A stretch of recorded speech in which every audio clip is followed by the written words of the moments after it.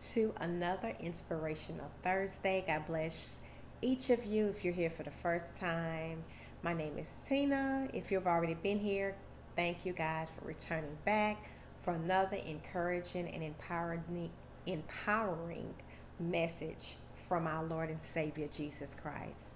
To God be the glory for a new day, new mercies to start all over again with our Father and to learn more of Him. Let's go to God in prayer. God, we give you glory. We give you honor and praise for who you are. You're a good, good, good, good Father. We thank you that you promise never to leave us nor to forsake us. We thank you, Lord God, that you're with us until the end of time. We come repenting of every sin. Forgive us, cleanse us, and renew a righteous spirit within us and a pure, clean heart. We ask that you would speak to us through your word, oh God, that will empower, equip, convict, and bring healing and deliverance to our lives on this day. We love you and we thank you. We know that when your word goes forth, it does not return voided back unto you, but it accomplishes everything it set for it out to do. I pray for every viewer and every listener that they will not only hear the word of God, but be a doer of it. In Jesus' name, amen. Hallelujah, hallelujah. Glory, glory to God. We are going to talk about kingdom relationships today. Kingdom relationships and I will be coming from the King James Study Bible verse version Bible. And we are going to study out of the book of First Corinthians chapter 7 verse 9 and it reads, "But if they cannot contain, let them marry, for it is better to marry than to burn."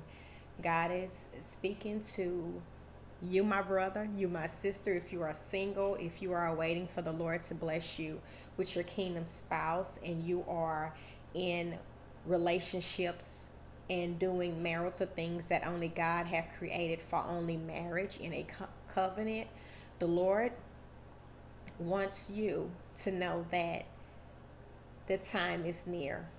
The time is near, and we can't allow the enemy to deceive our minds and make us feel as though we can do things in the way of the world and not do things in the way of the kingdom. The word of God says that we are not conforming the way of this world, but we are being transformed by the renewing of our minds that we're able to prove and test and see what is God's good and perfect pleasing will it for our lives. The Lord does not want us to miss out on everything that He has for us. Jesus has already paid the price on the cross, He nailed it, and He said it's finished. So, no matter what relationship that you're in, if you are in a relationship to where you are having marital relationships and you are living with your your girlfriend or boyfriend and other things on the list that may contain to your present relationship. The Lord is waiting for you to repent and start all over again with Him because it's better to marry than to burn in passion. We don't know when Jesus is coming and the time is near. And I want to encourage you to hear the word of the Lord today. Repent get your relationship right with God. God will keep you. God will help you. If this is your potential husband or wife, God will help you in this journey. He will help you. He will help the both of you. If you are both in a yoked relationship, a believing, y'all both saved and y'all believers, God will come in the midst of that relationship. If you have a desire to want to live the way God wants you to live, and and trust him in the process of going into kingdom marriage, God will step in and he will help you. Just fight the good fight of faith, be strong in the Lord and the power of his might. I can tell you from a personal testimony that I've been in a place where you are right now, and God stepped in and helped me. And to God be the glory. I am happily married. We are going to be going into 10 years this year by the grace of God. And it's because I was in a place where I didn't want to compromise righteousness for unrighteousness. It just was like a counterfeit. you know from the enemy making it seem as though like an illusion like this is this is okay to do this it's okay to live a carnal life living a life of the lust and the flesh and you know all these different worldly things and not walking in true holiness and righteousness god will do it for you my brother and my sister if you only believe and trust in the word of god god will step in that relationship he will step in that situation and he will make all things new. All things new. And of course, this was not an overnight process. It took a lot of praying, fasting, consecration, getting myself connected to whatever I needed to do in the body of Christ as far as my church, single ministry, choir, Bible study, whatever prayer ministry, whatever it took for me to get full of the Word of God, for me to stay focused on God, so I could learn how to please God in my relationship until I become that husband or that wife, or you become that husband or that wife to that individual.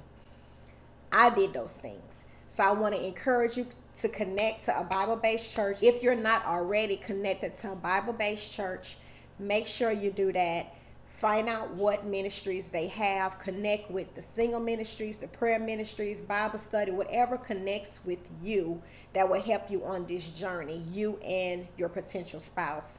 And God, God will be glorified and liberated through this relationship because He has perfect plans for your life.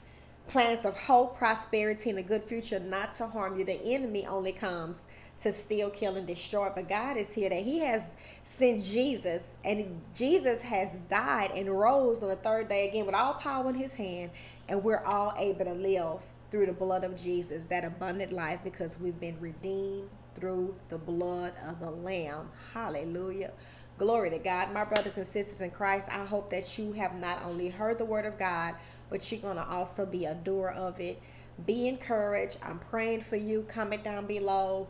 Let me know what your thoughts on on this message. If you need prayer, if you need more teaching on this area of Christian relationships, please let me know. I would be happy to create more content for you guys. Just let me know. I love you guys so much, but God loves you more, and He wants you to walk in the purpose and the plan that He has for your life. So be encouraged and I will be seeing you guys in the next inspirational Thursday. If you have not subscribed yet, make sure you do that. Comment down below.